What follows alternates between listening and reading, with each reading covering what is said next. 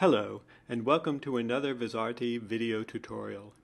In this tutorial, we will learn about audio debugging in Viz Artist through the use of the Debug Audio Display. This will also serve somewhat as a mini refresher course in the audio features and some of the audio setup options in the Viz engine. So, without further ado, let us begin. To start things off, we're going to need some audio in our scene. So I'm just going to add a live video input here. Good. Done. This live input is a test signal accompanied with embedded audio. The actual audio consists of several sine waves, with each channel containing a different frequency. You don't hear it because for the purposes of this video, I have turned off the Windows audio within the Viz engine configuration file. But here's how we can turn the Windows audio back on. We go to Configuration and Audio Settings, and then under the Various tab we see the field Driver Mode, which is set to None. We will change that to Direct Sound. Okay, we will save and then reboot. And this is what it sounds like. We've rebooted again, and this time the Windows sound is turned off. We will now dive in and take a look at the debug audio display. This is actually a set of overlay graphics which visually displays in real time the state of the audio engine. It is accessible through the console command interface. For this tutorial, I'll just be typing the commands in real time into the console which I'll place here on the screen. I could do this from a script or directly from the VizSend utility. Now I will type in the command send and then in capital letters audio star debug space set space 7 and nothing happens. That's because there's one additional thing we have to do. We have to turn on the performance monitor. And to do that, we have to go down here and click on the P button. Okay, here we have the debug audio display. We can see an array of 16 bars, each bar representing one audio channel. The channel numbering begins in the lower left with channel 0, and to the right of that is channel 1. That represents the first stereo pair. Above that would be channel 2 and channel 3, and so on. In the upper eight channels, for right now, there is no audio data. Uh, we also see a white rectangle in each bar, and that corresponds to the average audio volume. We also see various uh, statistics and performance meters uh, at the bottom.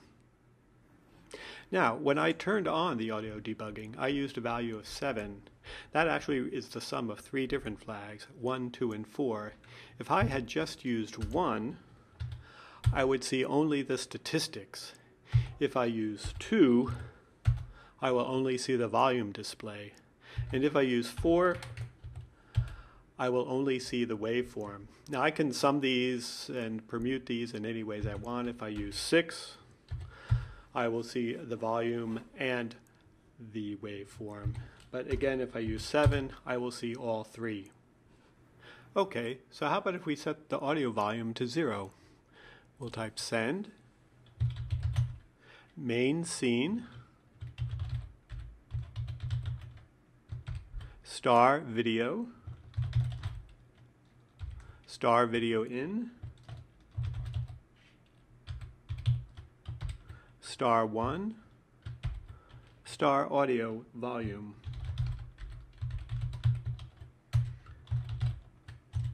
And set 0.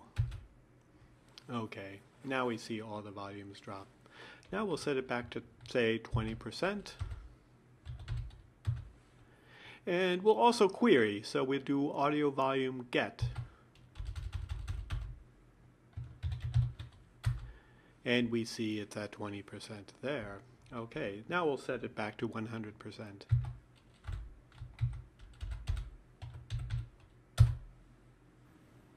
I'm now going to talk a little bit about channel volume. It is possible to independently set the audio volume of channels within an audio track. And we'll use the term audio track to refer to any discrete audio source. This could be a live input, a video clip, an audio clip, or a stream. It could also be audio sent directly from a plugin. The channel volume is expressed as a percent just like the track's audio volume. You can derive the net audio volume of a given channel by multiplying the channel volume by the audio volume for the track it belongs to. Thus, the two parameters are independent of each other. You can even think of the audio volume parameter as a master volume setting for that track, but only for a given track. Okay, so let's use this channel volume command. It's similar to the audio volume command, except there's an extra parameter, that for channel. So let's set channel 3's audio to 20%. So we do the same command almost as before, and we will set channel 3 audio to 20. And now we see channel 3's audio is dropping. Let's say let's set channel 5 to 0. And we see that goes down to 0. And we'll set channel 8 up to, oh, let's go crazy, 200. One detail to be aware of is that the numbering of the channels varies between the debug display and the command interface. The command interface uses the numbering 1 through 16 to address the channels, whereas the display numbers them 0 to 15. So just bear that in mind. We will now look at a test case using Dolby E. Dolby E is a codec that compresses eight channels of embedded SDI audio into two channels. Here we've added a second live input. There is a Dolby E signal carried in the first stereo pair. Let's mute the audio from live input 1. We'll do that by setting its volume to 0.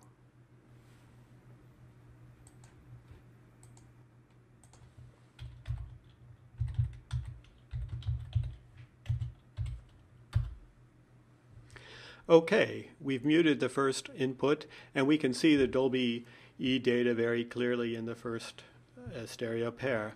However, what we don't see is the decoded data in the upper eight channels. It turns out, well, we booted without the Dolby dongle.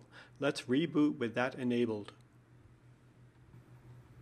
Okay, we rebooted with an enabled Dolby E dongle, and indeed we see the Dolby E data decompressing into the top eight channels. It's a sine wave, which jumps every two seconds from channel to channel, followed by two seconds of silence. It looks good, but we do see the Dolby E data still getting mixed into the bottom stereo pair.